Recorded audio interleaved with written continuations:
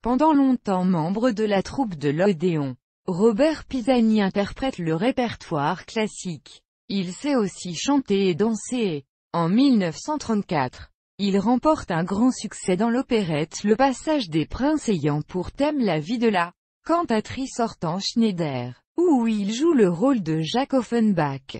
Il avait déjà interprété ce personnage dans une revue de Sacha Guitry, revue de printemps, au cinéma. Il apparaît à partir de 1924 dans près de 90 films, longs et courts-métrages, et joue son dernier rôle en 1961 dans Le Capitaine Fracasse de Pierre Gaspard Huit.